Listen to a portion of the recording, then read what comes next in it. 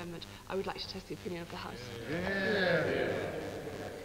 The question is that amendment number 10 be agreed to. As many as of that opinion will say content. Yes. The contrary not content. Not content. Clear the bar.